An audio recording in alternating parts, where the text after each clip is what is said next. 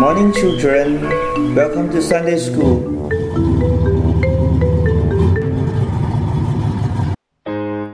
Let us pray. Our Father in heaven, open our lips so that we can praise you.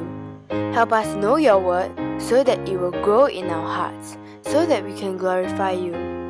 We pray through our Lord Jesus Christ. Amen.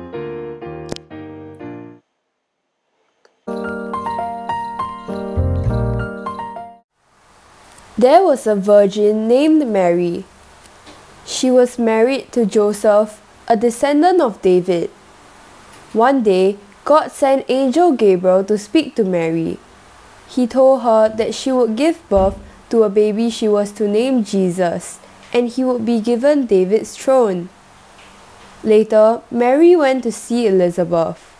As soon as she greeted Elizabeth, Elizabeth's baby leaped in her womb.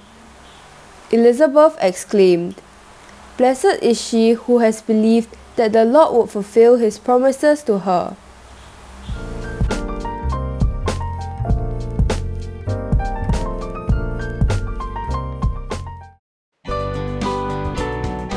Let's read together loudly.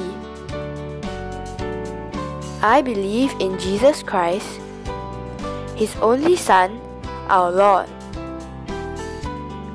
Let's say that one more time. I believe in Jesus Christ, His only Son, our Lord. Let us pray. Our Father in heaven, may your name be honored. We thank you for this holiday. We thank you for our parents who work hard to care for us. We thank you for our friends and classmates. Thank you for taking care of us. Amen.